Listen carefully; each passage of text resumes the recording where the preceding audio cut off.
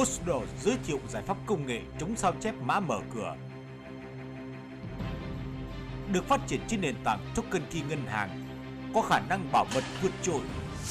Đó chính là Osmotic Rolling Code, tạo ra hàng tỷ mã ngẫu nhiên không lặp lại trong từng phiên làm việc, chống sao chép mã mở cửa. Đảm bảo an toàn cho ngôi nhà của bạn.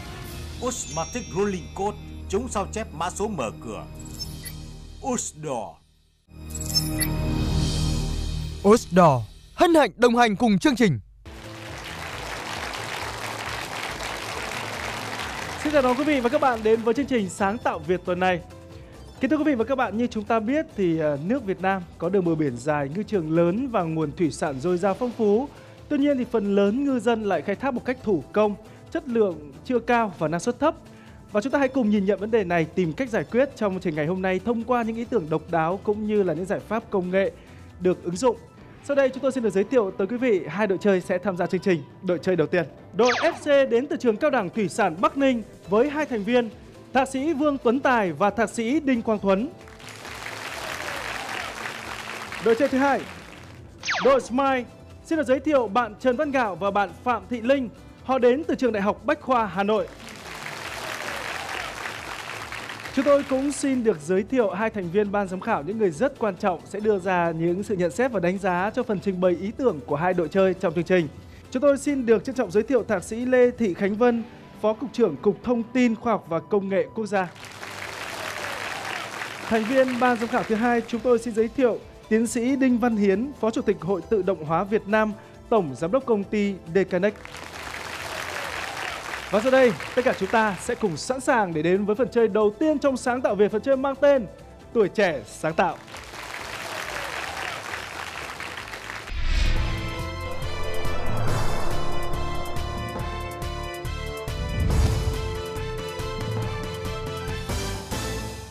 Nghề khai thác và đánh bắt thủy hải sản ở nước ta đang có những bước phát triển mạnh mẽ cả về quy mô và sản lượng khai thác. Tuy nhiên, hầu hết công việc đánh bắt và thu hoạch thủy sản của ngư dân hiện nay chủ yếu vẫn phụ thuộc vào trang thiết bị thô sơ, lạc hậu. Điều này không chỉ ảnh hưởng rất lớn tới năng suất, chất lượng các loại thủy hải sản mà còn ảnh hưởng trực tiếp đến đời sống và thu nhập của bà con ngư dân. Vì vậy, việc tìm kiếm ứng dụng công nghệ mới, máy móc hiện đại vào khai thác, đánh bắt thủy hải sản đang là yêu cầu vừa lâu dài vừa cấp thiết hiện nay. Điều đó không chỉ giúp giảm thiểu thời gian, công sức đánh bắt và thu hoạch cho ngư dân, mà còn góp phần nâng cao năng suất, giá trị của các loại thủy sản ở nước ta. Thưa quý vị, chúng ta đang cùng nhau đến với phần chơi tuổi trẻ sáng tạo. Và ở trong phần chơi này, như thường lệ chúng tôi sẽ có một chủ đề dành đến với hai đội chơi và nhiệm vụ của mỗi đội là giải quyết vấn đề của chúng tôi đưa ra một cách hiệu quả nhất từ những kinh nghiệm mà các bạn học tập và nghiên cứu. Mỗi thành viên ban giám khảo sẽ dành mức tiền thưởng tối đa cho mỗi phần trình bày ý tưởng sáng tạo của các đội chơi. Đó là 1 triệu 500 ngàn đồng dựa trên 3 tiêu chí sau đây. Đó là tính mới, trình độ sáng tạo và khả năng ứng dụng thực tiễn. Các đội chơi hãy dựa vào những tiêu chí này để có được phần trình bày ấn tượng và thuyết phục của ban giám khảo. Và mỗi đội cũng sẽ chỉ có 2 phút để đưa ra ý tưởng của mình mà thôi.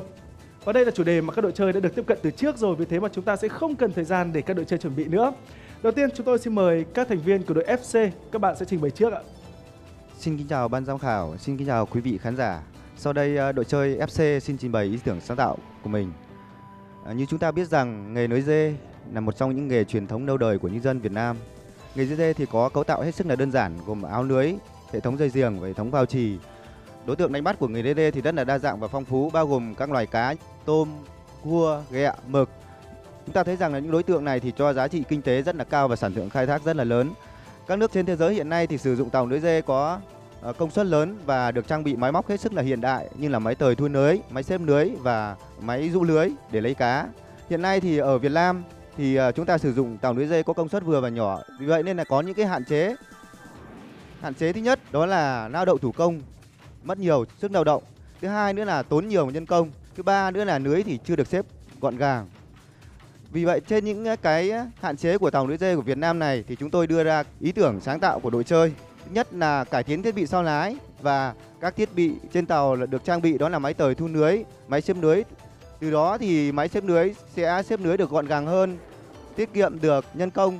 À, từ đó thì hiệu quả đánh bắt của nghề được à, nâng lên rất là nhiều. Xin à, chân thành cảm ơn quý vị khán giả và ban giám khảo đã chú ý lắng nghe. ạ. Xin cảm ơn đội FC và tiếp theo chúng tôi xin mời các bạn đội Smile. Kính thưa ban giám khảo, à, sau đây ờ, đội ờ, Smile xin ờ, trình bày về ý tưởng của mình ạ. Hiện nay, ngư dân ra biển xác định được có cá dựa vào kinh nghiệm, cách làm đó rất là thủ công và thiết bị thì thô sơ và lạc hậu, mất rất là nhiều thời gian, công sức. Đội chúng em xin đưa ra giải pháp là dùng à, thiết bị định vị à, đa năng ạ.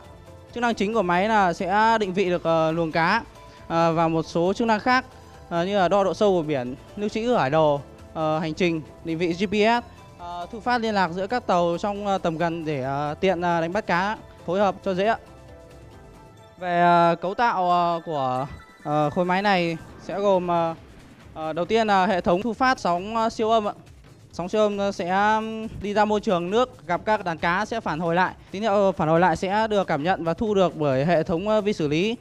Hệ thống sẽ tính toán được tọa độ của đàn cá, mật độ và độ lớn của đàn cá như thế nào ạ. Ngoài ra thì còn có hệ thống thu phát sóng vô tuyến thì thiết kế anten truyền sóng điện tử sử dụng giải sóng cực ngắn ạ, truyền trực tiếp để liên lạc giữa các tàu với nhau ạ.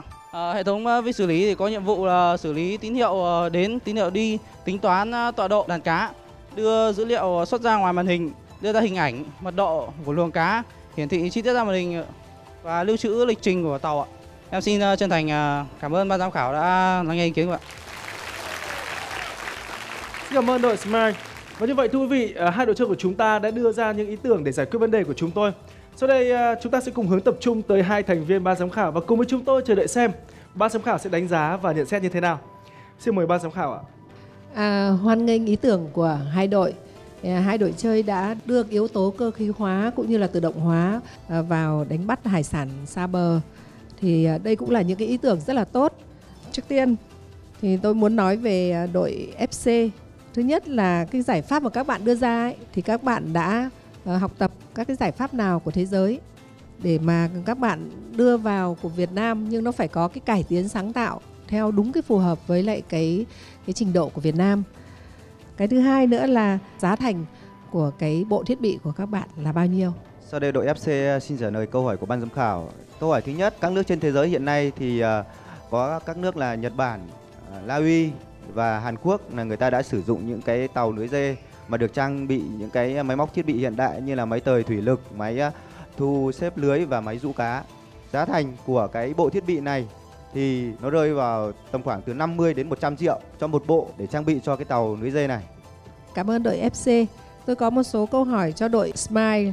Các bạn đã tham khảo các cái thiết bị của nước những nước nào để rồi các bạn sẽ chắt lọc những cái mà nó phù hợp với lại Việt Nam. Câu thứ hai là các bạn sẽ có những các cái biện pháp nào hoặc là giải pháp phần mềm như thế nào để khi các bạn mà chuyển các cái sóng mà các cái sóng siêu âm đấy về đến à, các cái thiết bị vi xử lý của các bạn mà vẫn phân biệt được đâu là cá to, đâu là cá nhỏ ờ, trong cả đàn cá mà các bạn phát hiện ra. Sau đây ờ, đội Smile xin ờ, trả lời câu hỏi của ban giám khảo ạ. Ờ, về ờ, tham khảo thì ờ, đội ờ, Smile đã có tham khảo một số tài liệu của bên nước Nhật ạ, bên nước Hàn ạ, bên nước Úc ạ về cái máy định vị và dò ạ. Nó dùng công nghệ siêu âm hay còn gọi là sonar. Thứ hai là làm sao để phân biệt cá to cá nhỏ thì khi mà cái khối phát phát sóng siêu âm xuống nước thì uh, nó sẽ gặp cá nó sẽ phản xạ lại. Thì khi gặp cá to á, thì uh, cái mật độ phản xạ lại nó sẽ nhiều và đều. Ờ, tí tín hiệu thu được ở đầu máy thu sẽ mạnh hơn và vi xử lý sẽ tính toán được. Uh, còn khi gặp mà cá nhỏ thì uh, cái mật độ nó sẽ ít hơn ạ vì tia phản xạ lại nó sẽ ít hơn rất nhiều. Chúng tôi cũng uh, đã xem và nghe các bạn trình bày. Phải nói cả hai đội đều có có tính mới, tính sáng tạo và có tính thực tiễn cao. À, sau đây thì tôi cũng ờ, xin có hai câu hỏi ờ, cho hai đội, mỗi ờ, đội một câu hỏi ngắn thôi. À, đội thứ nhất là đội FC. À, anh chị cho biết là tính ưu việt của động cơ thủy lực đối với động cơ có hộp giảm tốc cho cái ứng dụng này như thế nào và tại sao các bạn lại chọn là động cơ thủy lực. Còn ờ, đối với đội ờ, Smile thì tôi cũng ờ, xin được hỏi một câu nó mang tính chất chuyên môn. Tại sao các bạn lại sử dụng sóng siêu âm mà không sử dụng những cái sóng radar hoặc là một số cái loại sóng khác? Thay mặt đội chơi đến từ trường cao đẳng thủy sản xin trả lời câu hỏi của ban giám khảo thì tính ưu việt của cái động cơ thủy lực so với động cơ cơ khí mà cái tàu núi dây đã hay sử dụng là thứ nhất là chúng ta có thể uh, bơm cấp dầu tự động thứ hai nữa là chúng ta có một cái động cơ riêng để à, chúng ta có thể là thay đổi tốc độ thu lưới trong quá trình chúng ta thu lưới dê lên xin hết ạ Kính thưa ban giám khảo, sau đây là à, đội câu trả lời của đội uh, Smile ạ. À, về câu hỏi thứ nhất của ban giám khảo, tại sao lại sử dụng sóng siêu âm mà không sử dụng các loại sóng radar khác? Bởi vì trong môi trường nước, nếu mà dùng radar thì sẽ sử dụng sóng vô tuyến thì nó sẽ bị nước hấp thụ rất là mạnh, cho nên là sẽ không thể truyền được đi xa, cũng như là tín hiệu phản xạ lại rất là kém ạ, cho nên là khoảng cách ờ, rất là ngắn khi mà sử dụng sóng vô tuyến ạ. Sóng siêu âm thì ờ, ờ, là sóng cơ cho nên nó sẽ trong môi trường nước biển nó sẽ không bị hấp thụ mạnh ạ và nó có thể truyền được đi rất xa hàng km hàng mấy chục km ạ. À, và phản xạ lại thì nó cũng rất là mạnh như vậy sẽ rất là tốt cho hệ thống ạ Vâng, cảm ơn ờ, cả hai đội. Thay mặt ờ, ban giám khảo tôi xin ờ, được công bố điểm của hai đội chơi như sau. À, tiêu chí 1 là tính mới. Đội chơi FC 850 điểm. Đội chơi Smile 900 điểm. Tiêu chí thứ hai là trình độ sáng tạo. À, đội chơi FC 850 điểm. Đội chơi Smile 900 điểm. Tiêu chí thứ ba là khả năng ứng dụng. Đội chơi FC 950 điểm. Đội chơi Smile 950 điểm. Xin chúc mừng các bạn. Xin cảm ơn ban giám khảo. Và kính thưa quý vị, như vậy là qua phần chơi đầu tiên của ngày hôm nay thì mỗi đội chơi của chúng ta đã tích lũy được số tiền thưởng như sau. Các thành viên của đội FC các bạn đang có là 2 triệu 650 ngàn đồng. Đội Smile các bạn có 2 triệu 750 ngàn đồng. Xin chúc mừng cả hai đội chơi. Và sau đây chúng ta sẽ cùng nhau đến với phần chơi tiếp theo của sáng tạo Việt, phần chơi mang tên Đi tìm nhà sáng chế.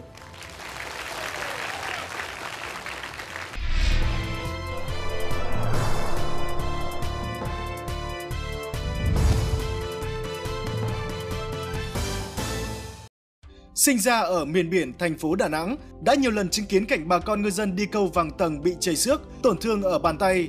Thậm chí có người còn phải từ bỏ nghề câu vì những tổn thương từ nghề nghiệp. Điều đó đã thôi thúc anh Nguyễn Văn Xuân cùng bạn bè, đồng nghiệp nghiên cứu sáng tạo ra chiếc máy kéo câu mới, một sản phẩm sáng tạo hỗ trợ ngư dân đi biển. Từ sau khi áp dụng máy kéo câu của nhóm tác giả, công việc thu câu của ngư dân đã trở nên nhẹ nhàng và tiện lợi. Chỉ một thao tác đơn giản, đó là đưa dây câu lên bánh đà. Theo lực quay của bánh đà, dây câu sẽ được kéo lên cho đến hết. Dây câu và lưỡi câu được xếp vào từng giỏ câu. Lưỡi được xếp thứ tự xung quanh miệng giỏ để tránh rối cho lần thả sau. Tùy theo nhu cầu đánh bắt từng loại cá của ngư dân mà có thể thay đổi tốc độ nhanh chậm khác nhau của bánh đà để điều chỉnh tốc độ thu câu. Ngoài ra, hệ thống thủy lực làm việc êm, không gây tiếng ồn, không ảnh hưởng tới môi trường làm việc cũng như sức khỏe của ngư dân. Máy kéo câu có kết cấu rất nhỏ gọn, tháo lắp dễ dàng, phù hợp áp dụng cho các loại tàu cá khác nhau, ngay cả những tàu đánh cá có diện tích chật hẹp.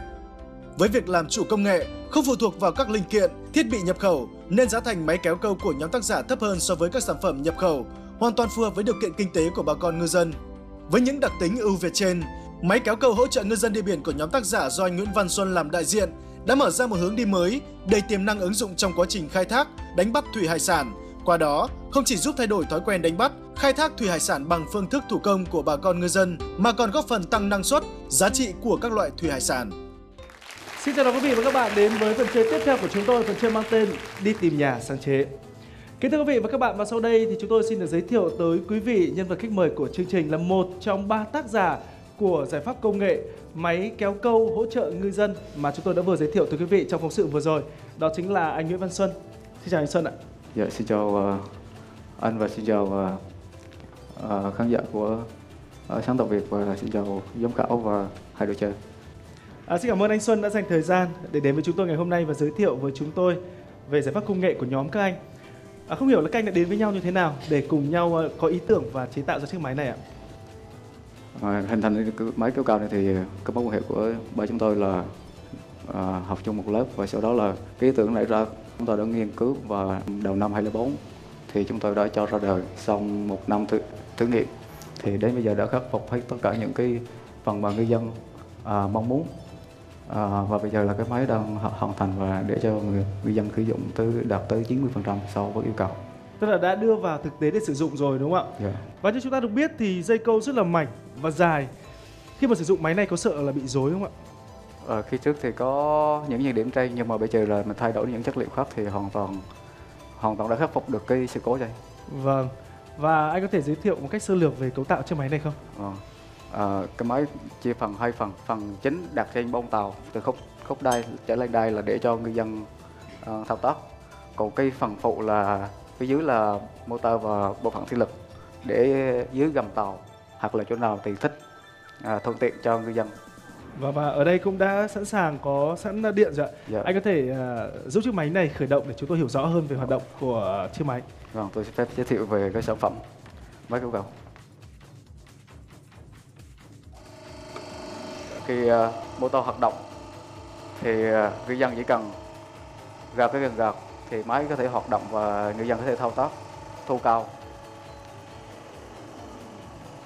Như vậy là cái bộ phận này quay thì tất cả các dây câu sẽ được quấn vào quanh cái à, vòng tròn này đúng không ạ? Vâng, khi mà dây cao thì cái sợi dây chính sẽ đi vào hướng đai và bám với lại cái bánh đà chính và băng chuyền và sẽ rơi vào cái nẹp thùng cao. Vâng. Vâng. À, thế còn tốc độ mình có điều chỉnh không ạ? thì mình đã thiết kế một cái ờ, điều chỉnh cái hệ thống thủy lực để mà làm chậm hay là nhanh tùy thích. Và chiếc máy này sẽ chạy dựa vào nguồn năng lượng từ đâu ạ?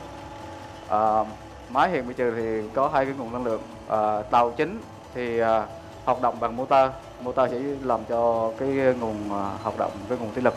Còn nếu như cái tàu vừa và nhỏ thì nguồn điện đáp ứng không đủ thì chúng ta sẽ dùng qua cái hệ thống của máy đổ dầu để mà hoạt động cái phần à, tích cực. Xin cảm ơn anh Nguyễn Văn Xuân và như vậy là hai đội chơi cũng như là chúng ta đã hiểu hơn về chiếc máy à, kéo câu hỗ trợ cho ngư dân đúng không ạ?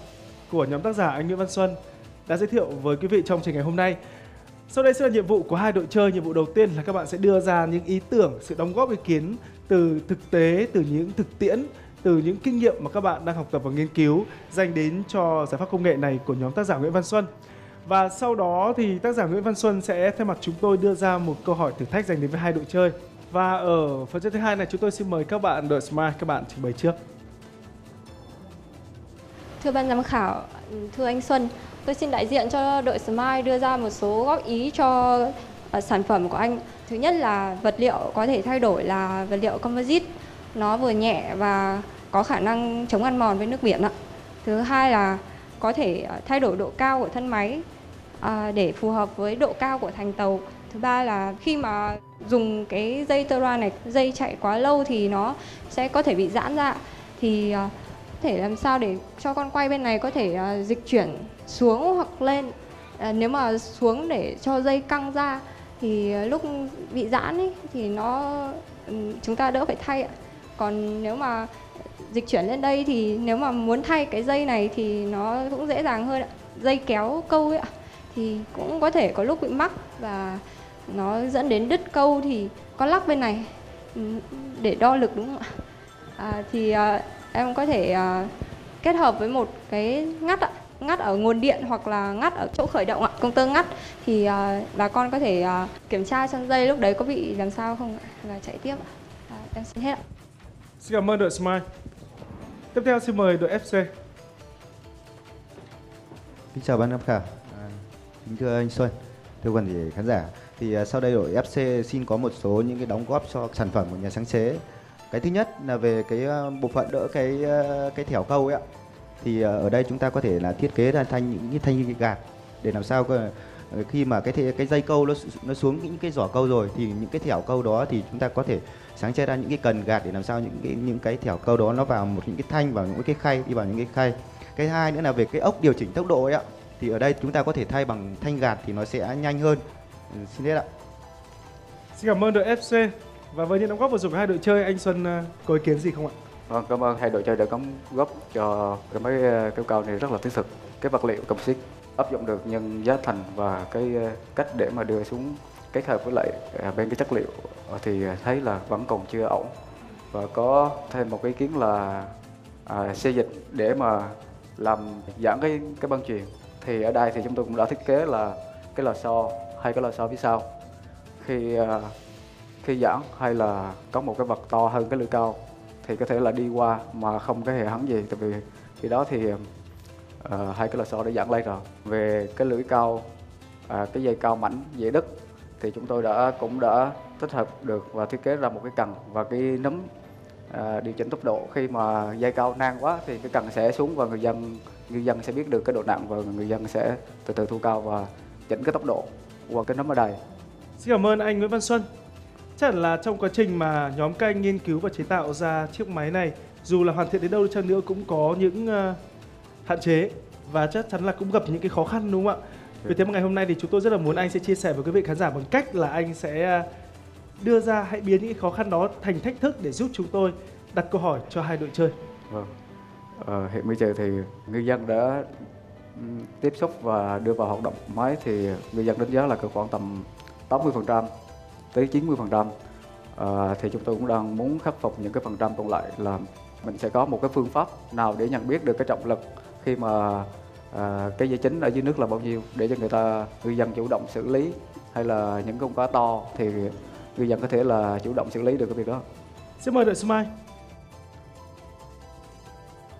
Đội Smile xin uh, giải quyết thử thách vừa rồi của uh, tác giả. Ừ. Và khi uh, dây trục chính đi qua con quay này ạ, uh, mình sẽ tính toán trước được cái trọng lượng mà uh, dây căng có thể chịu được ạ. Là cái dây cước uh, trục trục chính có thể chịu được là bao nhiêu mình có thể tính toán trước thử độ bền của cái dây trục chính trước sau đó mình sẽ áp dụng vào đây sẽ có một cái uh, đo lực chẳng hạn uh, để ở chỗ này ạ. Khi uh, nếu mà nó có quá lực cái này sẽ gạt xuống đến đây. Anh sẽ để một cái công tắc đây ạ. Thì uh, anh sẽ có một thang đo báo đây chẳng hạn. Thì thang đo báo mức cảnh báo cho người dân biết là cái dây câu nó chịu trọng lượng đến mức nào. Thì uh, anh sẽ thiết kế đây thì người dân sẽ có thể nhìn được thấy ạ. Cái thanh này đi xuống đâu ạ? Và để người dân có thể kịp điều chỉnh cái máy này ạ. Xin mời đội Smile. Và sau đây xin mời đội FC. Vâng, ý tưởng của đội ờ, uh, FC đưa ra đó là khi mà dây ờ, căng đi qua vị trí của cái dòng dọc ở đây thì chúng tôi ờ, lắp một cái thanh lực lén để đo lực căng của dây. Chúng ta đưa ra một cái vị trí có đồng hồ tương tự như đồng hồ đo áp lực của đồng hồ thủy lực ấy thì chúng ta tính được cái lực căng thì chúng ta từ đó thì chúng ta có thể điều chỉnh cái tốc độ quay của máy. Xin cảm ơn đội FC. Và như vậy là cả hai đội chơi của chương trình ngày hôm nay đã giải quyết thử thách của tác giả đưa ra và lúc này thì tôi lại muốn nghe những chia sẻ của tác giả. Vâng, thì tới đây thì cũng nghe được cái sự đóng góp của hai đội chơi về cái sự hoàn chỉnh được cái máy thì tôi rất là cảm ơn và à, cũng sẽ áp dụng à, vào cái, cái, cái, cái phương hướng sắp tới.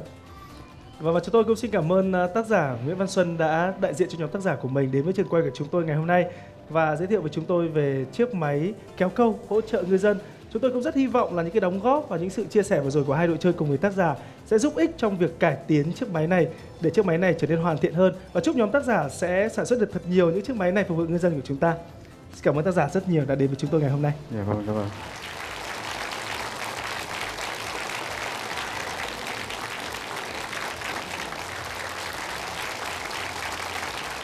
Thưa quý vị, như vậy là hai đội chơi của chúng ta đã đưa ra những ý tưởng đóng góp cũng như là câu trả lời để giải quyết thử thách mà tác giả Nguyễn Văn Xuân đã đưa ra. Bây giờ hãy cùng chờ xem là ban giám khảo sẽ có những nhận xét và đánh giá thế nào cho phần vượt qua thử thách vừa rồi của mỗi đội chơi. Chúng tôi xin mời ban giám khảo ạ. Vâng, cảm ơn ờ, và chúc mừng hai đội. Chất lượng của hai câu trả lời của các bạn ờ, góp ý cho nhà sáng chế đều rất tốt và hữu ích. Và đặc biệt là cái câu mà thách thức của nhà sáng chế hỏi ờ, hai đội cả hai đội chúng ta đều ờ, tính đến là cái giải pháp là sử dụng cái sức căng hoặc là ờ, những cái sensor đo trọng lượng. Thì ở đây là thông thường thì ờ, chúng ta có thể sử dụng một cái uh, load cell dạng treo có thể cân được cái trọng lượng của cái luồng cá khi mà, mà lượng cá thay đổi hoặc là lưới thu về ngắn hay dài. Thế thì cái chỗ treo này chúng ta có thể là sử dụng một cái cái load cell dạng dạng dạng kéo. ấy đấy là phương phương pháp thứ nhất. Có thể là phương pháp thứ hai là dùng ờ, để đo cái moment thế thì cái phương pháp mà hai bạn ờ, đều đưa ra là dưới dạng lốt cell thì tôi nghĩ là uh, cái phương án rất là tốt cho nhà sáng chế. Chúc mừng các bạn. À, đối với đội uh, Smile thì tôi thấy là các bạn đã góp ý kiến được ba câu. Thứ nhất là về vật liệu thứ hai là về thân máy và thứ ba là kết hợp cái việc là đóng ngắt nguồn điện. Thế đội FC thì à, đưa ra được hai câu góp ý. Câu thứ nhất là việc là cái bộ phận đỡ cái thẻ câu ấy, rồi là đến các cái à, sử dụng các cái thanh gạt để làm thế nào đấy mà không bị uh, ốc nó tuột xuống. Và như vậy thì tôi nghĩ là uh, góp ý kiến này thì sẽ rất là tốt cho nhóm tác giả uh, của cái giải pháp này. Về câu thách thức ấy thì uh, tôi thấy là uh, cả hai đội đều cũng đưa ra được cái ý kiến rất là tốt mà tôi nghĩ là à, chắc là các bạn cũng đã có được cái ờ, kinh nghiệm về thực tế cho nên là chúng tôi cũng đánh giá là hai đội là ngang nhau. Thay mặt ban giám khảo thì ờ, chúng tôi có chấm điểm như thế này. Thứ nhất là nội dung một là cái phần kế thừa và phát triển thì đội FC 1.300 điểm và đội Smile 1.300 điểm. Nội dung thứ hai tức là trả lời câu hỏi thách thức của tác giả sáng chế. Cả hai đội đều được 1.350 điểm. Xin chúc mừng cả hai đội.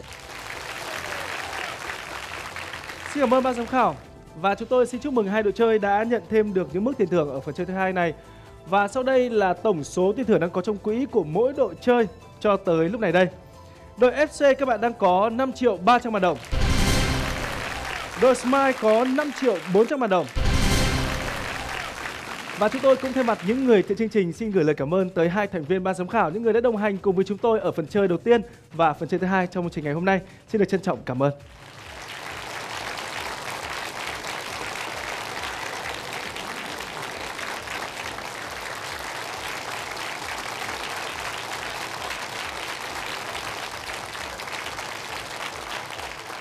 Và sau đây xin mời quý vị sẽ cùng với hai đội chơi chúng ta đến với phần chơi tiếp theo trong chương trình sáng tạo Việt phần chơi mang tên Lựa chọn thông minh.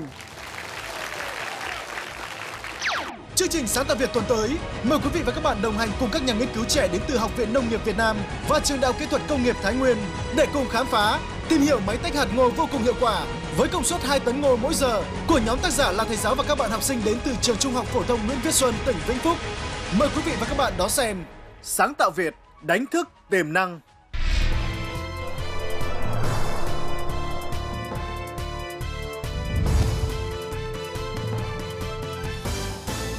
Thưa quý vị, chúng ta đang đến với phần chơi thứ ba, phần chơi mang tên lựa chọn thông minh. Thưa quý vị và các bạn, việc nâng cao năng suất chất lượng sẽ là chìa khóa của sự phát triển và hội nhập, đồng thời cũng là cơ hội cho doanh nghiệp nâng cao năng lực cạnh tranh của mình trên thương trường. Và với hai câu hỏi tương ứng với hai phim tình huống mà chúng tôi sẽ dành đến với hai đội chơi sau đây, thì một lần nữa chúng ta sẽ cùng tìm hiểu về vấn đề này. Nhiệm vụ của các đội chơi là các bạn lựa chọn một trong ba phương án của chúng tôi đưa ra trong mỗi câu hỏi. Đội nào đưa ra câu trả lời sớm và trả lời chính xác sẽ có được 500 điểm. Đội còn lại nếu đưa ra câu trả lời sau và chính xác sẽ chỉ có 300 điểm mà thôi. Vì thế, việc đưa ra câu trả lời sớm là rất quan trọng để các đội chơi có được mức tiền thưởng tối đa cho mỗi cơ hội trong phần chơi này. Sau đây sẽ là phim tình huống thứ nhất.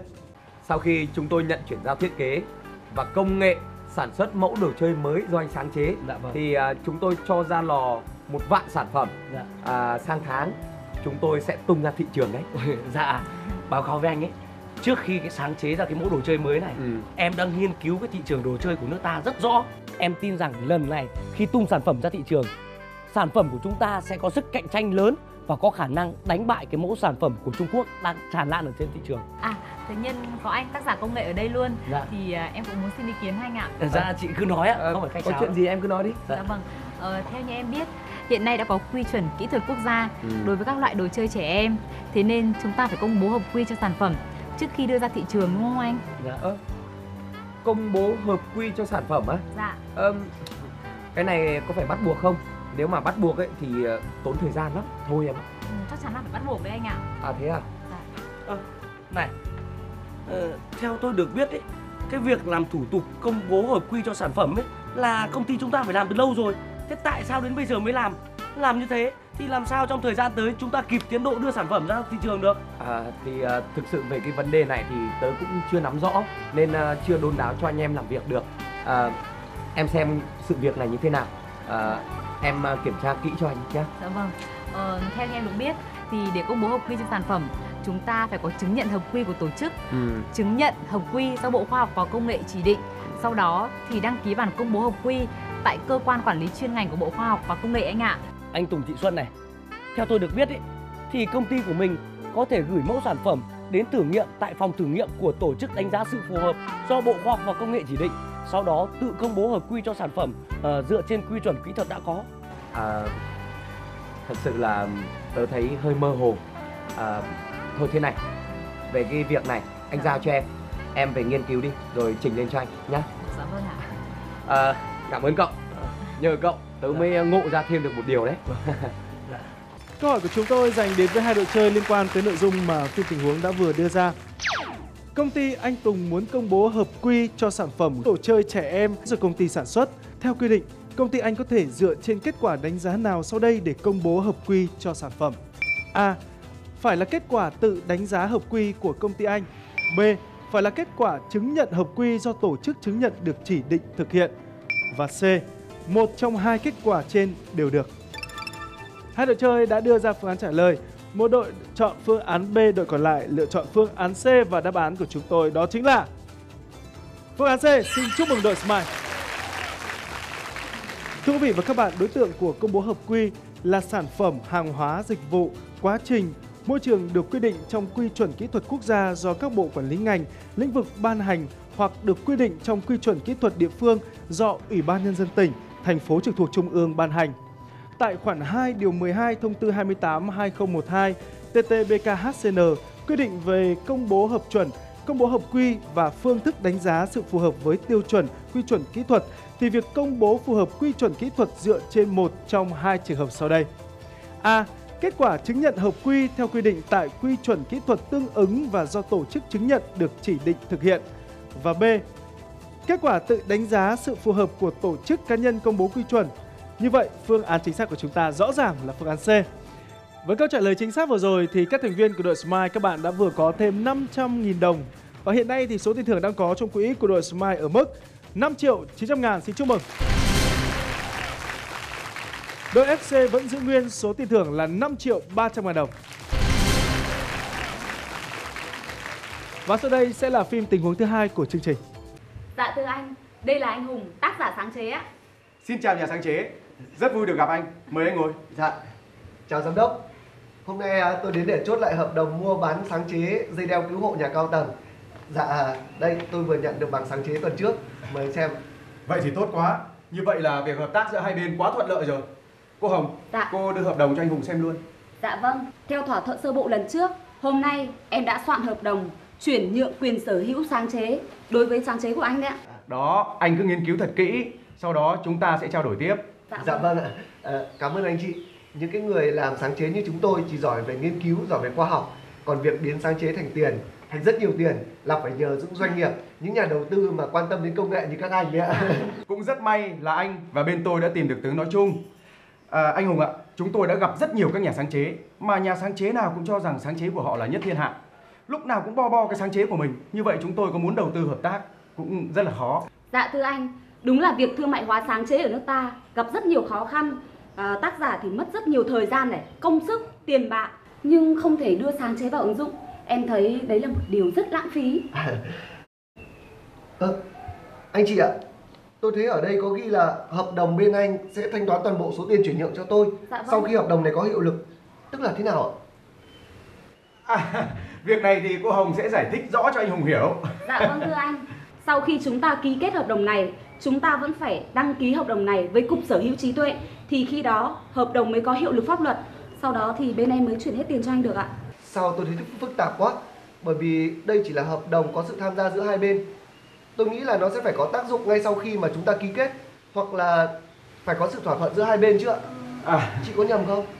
À, về việc này thì bởi vì sáng chế của anh đã được cấp văn bằng bảo hộ rồi nên theo quy định của pháp luật chúng ta phải làm như vậy. Thực ra nó chỉ là thủ tục, không có gì phức tạp cả. Tôi rất mong là chúng ta sẽ hợp tác thành công. Dạ vâng, vậy thì phiền anh giúp đỡ tôi về cái khoản thủ tục này. Đương nhiên rồi. dạ. Vấn đề mà chúng tôi đặt ra trong câu hỏi tiếp theo cũng chính là nội dung mà hai đội chơi cùng quý vị theo dõi ở phim tình huống vừa rồi. Câu hỏi như sau. Anh Hùng ký kết hợp đồng chuyển nhượng quyền sở hữu công nghiệp đối với sáng chế của anh cho một doanh nghiệp để đầu tư sản xuất. Theo quy định, hợp đồng trên sẽ có hiệu lực vào thời điểm nào? A. Ngay sau khi hai bên ký kết hợp đồng. B. Tùy theo thỏa thuận của các bên. Và C. Sau khi được đăng ký tại Cục Sở hữu trí tuệ. Cả hai đội đã đều đưa ra chung một phương án đó là phương án C. Tuy nhiên thì à, tôi thấy là các bạn đội Smile các bạn đã đưa ra câu à, trả lời trước nhưng quan trọng phương án C có trùng với đáp án của chúng tôi hay không. Sau đây sẽ là những thông tin về nội dung câu hỏi mà chúng tôi đã đưa ra. Thưa quý vị, tại Điều 148 Luật Sở hữu trí tuệ quy định về hiệu lực của hợp đồng chuyển giao quyền sở hữu công nghiệp. Theo đó, hợp đồng chuyển nhượng quyền sở hữu công nghiệp chỉ có hiệu lực khi đã được đăng ký tại Cục Sở hữu trí tuệ. Trong trường hợp các bên tiến hành sửa đổi bổ sung hợp đồng, việc sửa đổi nội dung, gia hạn, chấm dứt trước thời hạn hiệu lực của hợp đồng chuyển quyền sử dụng đối tượng sở hữu công nghiệp đã đăng ký đều phải được ghi nhận tại Cục Sở hữu trí tuệ. Và như vậy, phương án chính xác của chúng ta đó chính là phương án C. Xin chúc mừng cả hai đội chơi đã có câu trả lời đúng. Số tiền thưởng đang có trong quỹ của mỗi đội chơi hiện nay như sau. Đội FC các bạn đang có 5 triệu 600 ngàn đồng. Đội Smile các bạn đang sở hữu 6 triệu 400 ngàn.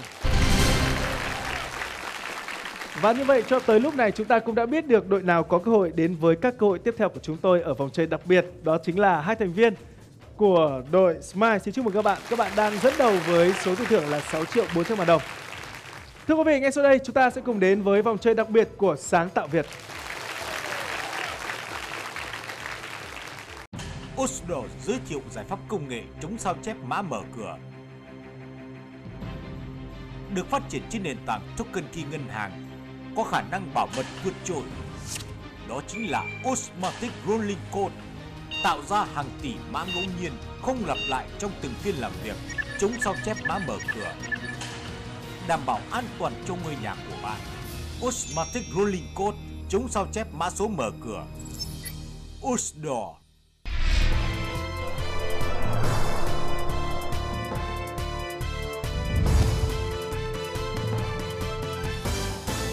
Thưa quý vị, chúng ta đang đến với vòng chơi đặc biệt của Sáng tạo Việt. Và phần chơi này chúng tôi có tổng số là 5 câu hỏi đưa ra dành đến với đội chơi. Đó là hai thành viên của đội Smile các bạn đã xuất sắc. Dẫn đầu với số tiền thưởng các bạn đang có lúc này là 6 triệu 400 ngàn đồng. Chúng tôi rất hy vọng là một lát nữa các bạn trên tay, chúng tôi ra về sẽ không chỉ với số tiền thưởng này đâu, mà còn thêm một phần quà nữa khi các bạn vượt qua được 5 câu hỏi ở vòng chơi đặc biệt để các bạn nhận được một chiếc điều hòa thương hiệu Sumikura với công nghệ tiên tiến của Nhật Bản và được nhập khẩu nguyên chiếc từ Malaysia. Trong vòng 60 giây các bạn trả lời 5 câu hỏi. Và các bạn lưu ý là mỗi câu hỏi các bạn sẽ có tối đa 2 lượt trả lời. Nên các bạn đừng quá chậm trễ trong những lượt trả lời đầu tiên trong mỗi câu hỏi. Hãy sẵn sàng. 60 giây, bắt đầu. Câu 1. Quy chuẩn kỹ thuật do cơ quan nào ban hành? A. Do doanh nghiệp tự ban hành. B. Do tổ chức tiêu chuẩn hóa quốc tế ban hành. Và C. Do cơ quan nhà nước có thẩm quyền ban hành. B ạ. Không chính xác câu 2. Công bố hợp quy là hoạt động mang tính chất nào sau đây? A. Bắt buộc B. Tự nguyện C. Tùy theo chỉ định của cơ quan có thẩm quyền. C ạ. Không chính xác câu 3. Mẫu dấu hợp quy có hình dạng và kích thước như thế nào? A. Theo yêu cầu của tổ chức được chứng nhận B. Theo quy định của tổ chức chứng nhận Và C. Theo quy định của pháp luật. C ạ. Chính xác câu 4. Những sản phẩm hàng hóa nào sau đây phải công bố hợp quy? A. Sản phẩm hàng hóa đã có quy chuẩn kỹ thuật B. Sản phẩm hàng hóa đã có tiêu chuẩn kỹ thuật Và C. Tất cả các sản phẩm hàng hóa trên thị trường. C ạ. Không chính xác. Câu 5. Cơ quan nào có thẩm quyền tiếp nhận hồ sơ công bố hợp quy? A. Cục Quản lý Thị trường Bộ Công Thương B. Cục xuất nhập khẩu Và C. Cơ quan quản lý chuyên ngành sản phẩm hàng hóa. C ạ. Chính xác. Câu 1. Quy chuẩn kỹ thuật do cơ quan nào ban hành? A. Do doanh nghiệp tự ban hành C. Do cơ quan nhà nước có thẩm quyền ban hành C ạ. Chính xác. Câu 2. Công bố hợp quy là hoạt động mang tính chất nào sau đây? A. Bắt buộc B. Tự nguyện B. Không chính xác. Rất đáng tiếc phương án chính xác của chúng ta phải là phương án A. Đó chính là phương án bắt buộc ạ. Mặc dù vẫn còn thời gian nhưng thưa quý vị là đội số Mai trả lời hai lượt cho câu hỏi số 2 rồi vẫn không chính xác nên chúng ta phải tạm dừng lại việc các bạn vượt qua thử thách ở vòng chơi này. Các bạn còn lại một câu đó là câu số 4. Những sản phẩm hàng hóa nào sau đây phải công bố hợp quy? Các bạn lựa chọn là phương án C, tức là tất cả các sản phẩm hàng hóa trên thị trường nhưng đáp án của chúng tôi là phương án A, sản phẩm hàng hóa đã có quy chuẩn kỹ thuật. Đội Smile các bạn trả lời à, được 3 câu hỏi chính xác trên tổng số 5 câu hỏi của chúng tôi đưa ra nên các bạn sẽ tạm biệt chúng tôi ra về với số tiền thưởng các bạn đã có là 6 triệu 400 ngàn đồng. Xin cảm ơn các bạn. Thưa quý vị và các bạn, chúng tôi rất hy vọng là những ý tưởng độc đáo cũng như những giải pháp công nghệ mà chúng tôi đã giới thiệu chia sẻ với quý vị và các bạn trong trình ngày hôm nay sẽ góp phần cải thiện việc khai thác và đánh bắt thủy sản, nâng cao đời sống của bà con ngư dân và góp phần phát triển kinh tế của đất nước. Chương trình ngày hôm nay của chúng tôi xin tạm dừng tại đây. Thân ái chào tạm biệt quý vị.